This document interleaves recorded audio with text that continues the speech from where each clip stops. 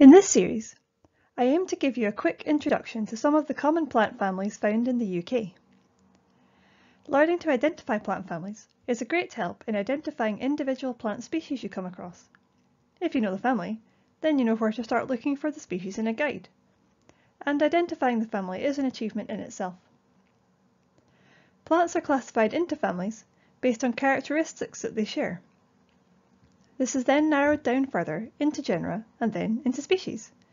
So, the way to identify a plant's family is to know these characteristic features.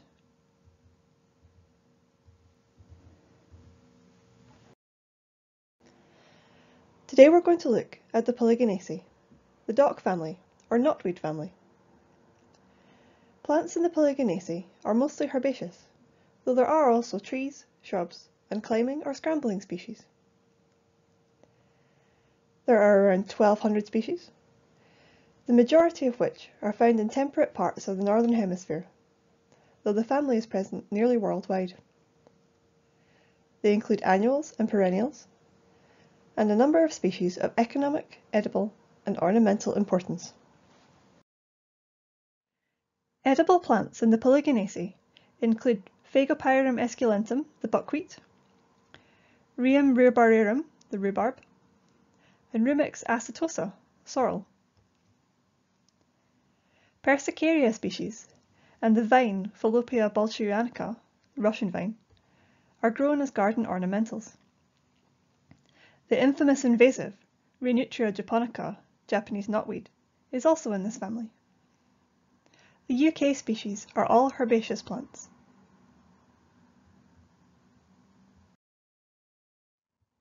The flowers grow in clusters on flowering stems, or from the axils where the leaves meet the stems. The flowers are small and regular in shape, usually green, pale, or pinkish red. They don't have defined petals or sepals, and the petal-like organs are instead referred to as tepals. There are between three and six tepals, arranged in two rings. In some species, these are joined at the base, and in others they're not. In Rumex, the docks, some of the tepals have warty structures and toothed edges that are important for identifying the species. The flowers are pollinated by wind in some species and by insects in others.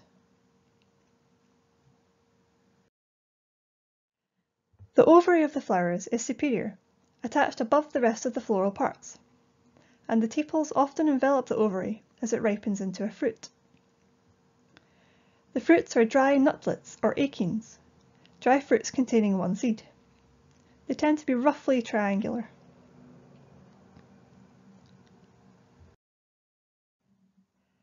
Polygonaceae leaves grow either in a basal rosette or alternately up the stems.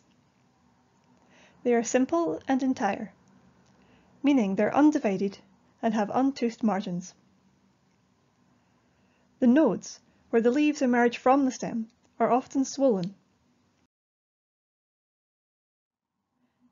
An important characteristic of many of these plants are the stipules, structures found at the base of the leaves. In many families, these stipules are leafy. In the Polygonaceae, they are papery and form a membranous sheath above the base of the leaf stalks. These sheaths are called ochreae, or ochrea in singular.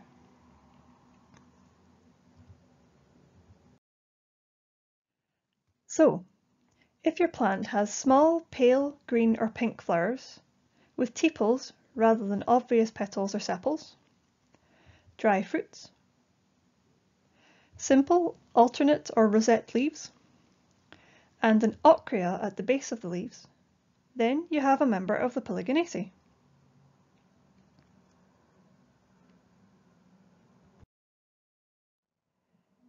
See if you can find these three plants when you're out and about. Rumex obtusifolius, the broad-leaved dock, with big broad leaves and tall flower spikes. Rumex acetosa, sorrel, with arrowhead-shaped leaves and Persicaria maculosa, redshank, with blotched leaves and dense heads of pink flowers.